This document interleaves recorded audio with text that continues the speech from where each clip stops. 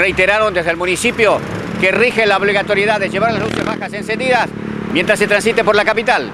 Esta medida estará en vigencia plena dentro de 60 días y mientras tanto el municipio tratará de generar conciencia sobre la disposición. A partir de aquella fecha se multará a quienes no adhieran a la norma. Según explican desde el municipio, se hace referencia a estadísticas nacionales e internacionales que revelan que el encendido de luces baja reduce el número de accidentes en un 28% y en un 10% se evitan las embestidas a peatones. Sí, me ayuda mucho. Me ayuda para prevenir un montón de cosas, accidentes, para que te vean a la distancia. Me parece bien. Es una norma que hay que cumplir de tránsito.